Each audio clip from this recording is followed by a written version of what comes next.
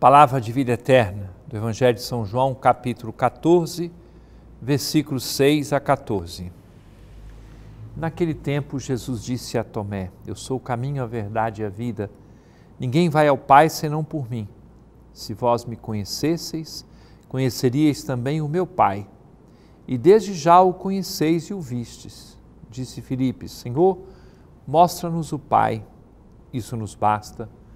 Jesus respondeu: Há tanto tempo estou convosco que não me conheces, Filipe. Quem me viu, viu o Pai. Como é que tu dizes: Mostra-nos o Pai? Não acreditas que eu estou no Pai e o Pai está em mim? As palavras que eu vos digo, não as digo por mim mesmo, mas é o Pai que, permanecendo em mim, realiza as suas obras. Acreditai-me, eu estou no Pai e o Pai está em mim. Acreditai, ao menos, por causa dessas mesmas obras. Em verdade, em verdade vos digo: quem acredita em mim fará as obras que eu faço e fará ainda maiores do que essas, porque eu vou para o Pai. E o que pedirdes em meu nome, eu o realizarei, a fim de que o Pai seja glorificado no Filho. Se pedirdes algo em meu nome, eu o realizarei. Caríssimo irmão, caríssima irmã, celebramos neste sábado dois apóstolos, São Felipe e São Tiago, apóstolos e mártires.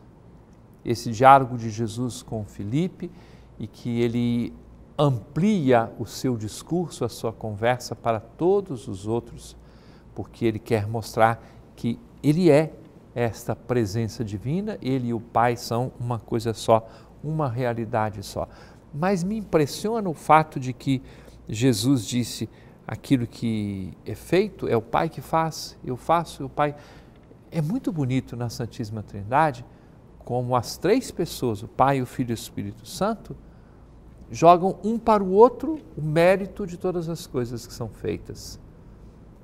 Porque não existe egoísmo na Trindade, não existe essa busca de si mesmo, é uma comunhão plena um com o outro, o Pai, o Filho e o Espírito Santo em plena comunhão sem qualquer ciúme, sem qualquer inveja, sem qualquer divisão. Que bom se nós, ao celebrarmos esses dois apóstolos, pudermos descobrir que a mesma vida vale para a igreja, vale para os apóstolos, vale para nós, vale para as nossas famílias. É palavra de vida eterna.